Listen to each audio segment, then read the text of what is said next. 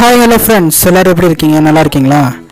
இன்றைக்கி நம்ம வீடியோவில் என்ன பார்க்க போகிறோன்னு பார்த்தீங்கன்னா ஆல்ரெடி நேற்று ஒரு வீடியோ போட்டிருந்தோம். லேபர் வெல்ஃபேர் ஃபண்டு எப்படி ரிஜிஸ்டர் பண்ணுறதுன்னு சொல்லிட்டு. அதில் வந்து நிறைய பேர் எனக்கு மெயில் பண்ணியிருந்தீங்க. ரிஜிஸ்டர் பண்ணியாச்சு ஆனால் எதுவும் மெயில் வரல மெசேஜ் வரல அந்த நம்பர் இன்னும் வரலன்ற மாதிரி சொல்லியிருந்தீங்க. ஸோ ஆஃப்லைனில் எப்படி பே பண்ணுறது அப்படின்னு அதுக்காக எல்லாரும் ஆஃப்லைனில் பே பண்ணுறதே இப்போ பார்க்காதீங்க. கண்டிப்பாக ரிஜிஸ்டர் பண்ணிடுங்க ரிஜிஸ்டர் பண்ணிவிட்டு வரக்கு உங்களுக்கு லேட் ஆகுது அப்படின்ற பட்சத்தில் மட்டும் ஆஃப்லைனில் போங்க. ஏன்னா ஃப்யூச்சரில் கண்டிப்பாக எல்லாமே ஆன்லைனில் தான் வரும். ஸோ இப்போ டேரெக்டாக வீடியோ கிளப் எல்லாம் நீங்கள் பார்த்துட்ருக்குது மிஸ்டர் வீடியோ தமிழ் சேனல் நான் உங்களுக்கு தினி Watching videos without subscribe is injurious to YouTubers.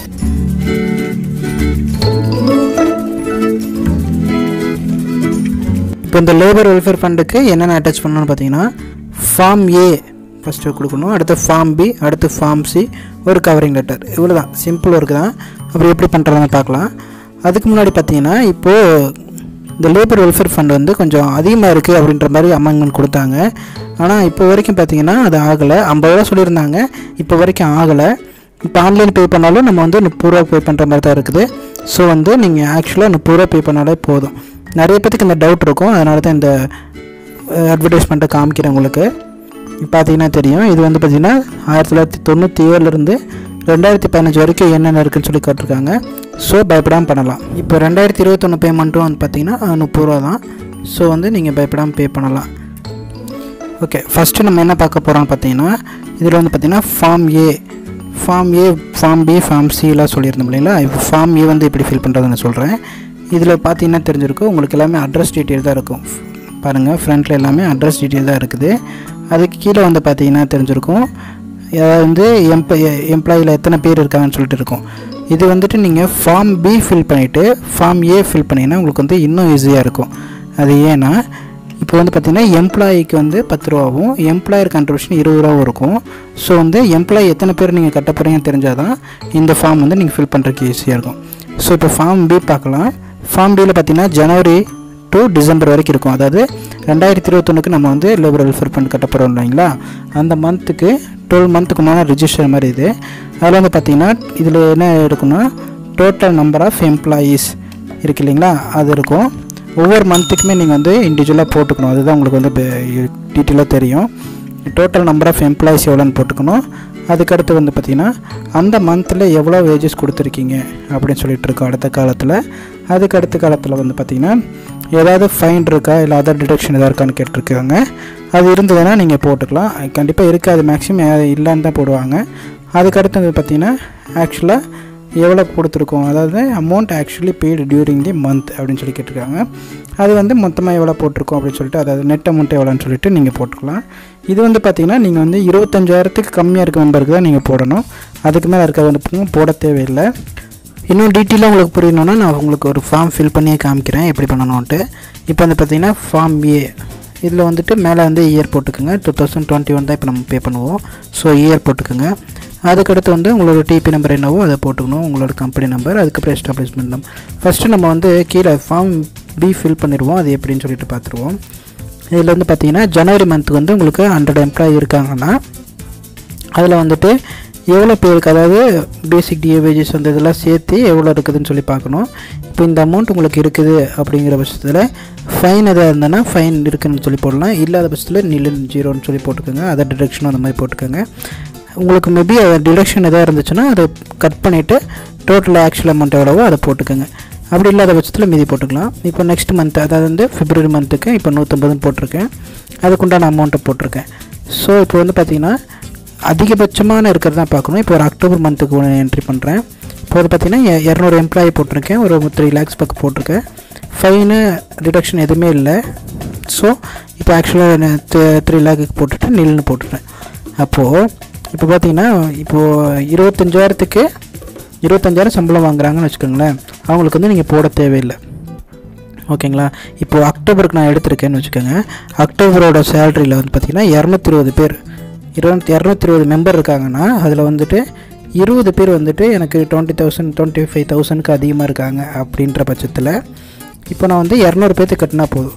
இது வந்து நான் உங்களுக்கு எக்ஸாம்பிளுக்கு சொல்லியிருக்கேன். உங்களுக்கு வந்து டுவெண்ட்டி ஃபைவ் தௌசண்ட்க்கு மேலே யாராவது இருந்தாங்கன்னா அவங்கள வந்துட்டு நீங்கள் என்ரோல் பண்ண தேவையில்லை. அதுக்கு கீழே இருக்கவங்க மட்டும் போடுங்க. ஓகே இப்போ வந்து ஃபார்ம் ஏ இப்போ எப்படி ஃபில் பண்ணுறது பார்க்கலாம். நீங்கள் வந்து பார்த்தீங்கன்னா மேலே வந்துட்டு இயர் போட்டுக்கிட்டு கம்பெனி நேம் போட்டுக்கோங்க. அதுக்கடுத்து எல்லாமே அட்ரஸ் தான் இருக்குது ஸோ அதை ஃபில் பண்ணிக்கோங்க.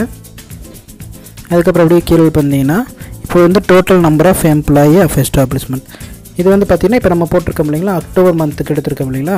இப்போ இந்த கீழே வந்து பாருங்கள் அக்டோபர் மந்த்துக்கு இரநூறு பேர் எடுத்திருக்கோம் இல்லைங்களா? அந்த இரநூறு பேரை வந்து இங்கே போட்டுக்கணும்.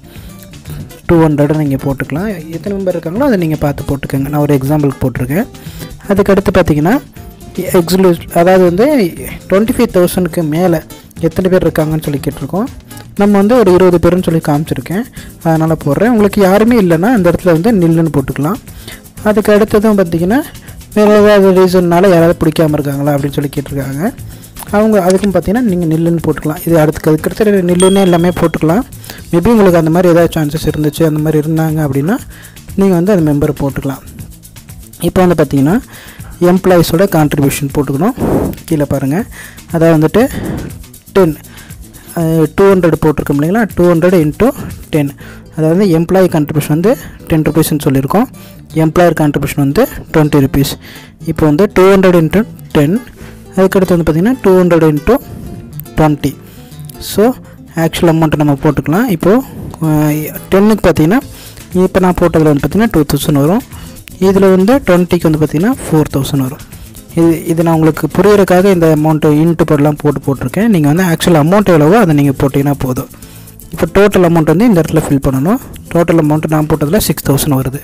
ஸோ சிக்ஸ் தௌசண்ட் போட்டுட்டேன். அதுக்கு அடுத்து பார்த்தீங்கன்னா கீழே பாருங்கள் டிடி எடுத்து போடணும் இந்த அமௌண்ட்டை நீங்கள் கண்டிப்பாக டிடி மட்டும்தான் எடுக்கணும். மற்றபடி இந்த செக் அதெல்லாம் வந்து அக்செப்ட் ஆகாது. இப்போ வந்து பார்த்தீங்கன்னா என்ன நேமில் எடுக்கணும்னு பாருங்கள் இந்த secretary of Tamil Nadu labour welfare அப்படிங்கிற பேருக்கு தான் எடுக்கணும். இது ஆல்ரெடி ஒரு டிடி பழைய டிடி இருக்குது ஸோ அதை எடுத்து உங்களுக்கு நான் காமிக்கிறேன். இப்போ நீங்கள் அந்த மாதிரி டிடி எடுத்துக்கோங்க. இந்த நேமுக்கு எடுத்துக்கோங்க. என்ன அமௌண்ட்டுங்கோ இப்போ நம்ம ஒன்று அமௌண்ட் போட்டிருக்க முடியல. நான் இப்போ வந்து பார்த்தீங்கன்னா சிக்ஸ் தௌசண்ட் உங்களுக்கு போட்டு காமிச்சேன் இல்லைங்களா? அந்த மாதிரி உங்களுக்கு எவ்வளோ அமௌண்ட்டோ அந்த அமௌண்ட்டு போட்டுக்கோங்க. அதுக்கப்புறம் டேட்டு இந்த டேட்டு அமௌண்ட்டு செக் நம்பர் இதெல்லாம் வந்து பார்த்திங்கன்னா ரொம்ப இம்பார்ட்டண்ட் அதாவது டிடி நம்பர் இது வந்து ரொம்ப இம்பார்ட்டன்ட்டு இது நம்ம வந்துட்டு இந்த இடத்துல நம்ம ஃபார்மில் நம்ம வந்து இன்க்ளூட் பண்ணணும். இப்போ பார்த்தீங்கன்னா ஃபார்ம் சி அதாவது ஃபார்ம் சி நான் உங்களுக்கு சொல்லியிருந்தேன் இல்லையா? இல்லை ஆரம்பத்துலேயே உங்களுக்கு சொல்லியிருந்தேன் form A form B form சின்னு சொல்லிட்டு. ஃபார்ம் சி எப்படி இது என்னென்னா அன்பெய்டு வேஜஸ்ன்னு சொல்லுவாங்க. அதாவது வந்து பார்த்திங்கன்னா நம்ம ஃபைனு டிடக்ஷன் அந்த மாதிரி எதாவது காமிச்சிருந்தோம்னா இதில் வந்து நம்ம ஃபில் பண்ணணும். நம்ம நீங்கள் அங்கே எதுவுமே காமிக்கலைன்னா இதில் வந்து நில்லுன்னு போட்டுக்கலாம். இதில் எந்த இஷ்யூவும் கிடையாது. ஆனால் இந்த ஃபார்ம் வந்து கண்டிப்பாக அட்டாச் பண்ணணும். இது வந்து பார்த்திங்கன்னா நாலு குவார்ட்டராக பிரிச்சிருப்பாங்க. ம மூணு மாதத்துக்கு ஒரு டைம் அதாவது மார்ச் ஜூன் செப்டம்பர் டிசம்பர் அந்த மாதிரி வந்து நாலு குவார்ட்டராக பிரிச்சிருப்பாங்க. நீங்கள் வந்து எல்லாமே நில் நில்னு கூட போட்டுட்டு நீங்கள் கீழே வந்து சைன் வாங்கிக்கலாம்.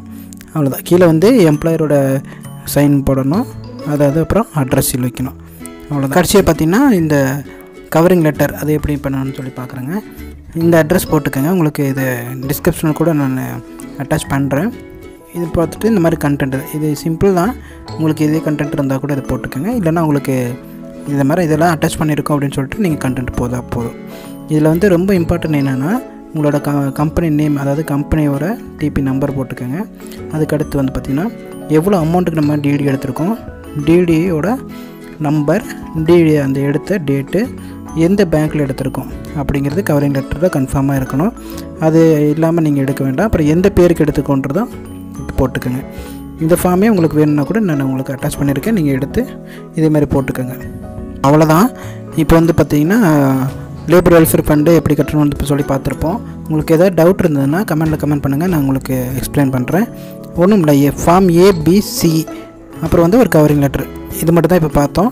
ஸோ டீட்டெயிலாக உங்களுக்கு புரிஞ்சிருக்குன்னு நம்புகிறேன் பண்ணிங்கன்னா உங்களுக்கு ஓப்பன் ஆயிரும். இந்த மாதிரி யூஸ்ஃபுல்லான வீடியோ இருக்குது மிஸ்டர் தமிழ் சேனலை சப்ஸ்கிரைப் பண்ணி வச்சுக்கோங்க. நம்மளோட எப்பயுமே இணைஞ்சிருங்க. இந்த வீடியோ உங்களுக்கு யூஸ்ஃபுல்லாக இருந்துச்சுன்னா உங்களோட ஃப்ரெண்ட்ஸ் அண்ட் ஃபேமிலி சர்க்கிளுக்கு ஷேர் பண்ணுங்கள் நீங்கள் பார்த்துட்டு கேட்டுகிட்டே இருக்கிற மிஸ்டர் யோடைய தமிழ் சேனல் நான் உங்கள் தினேஷ். Thank you so much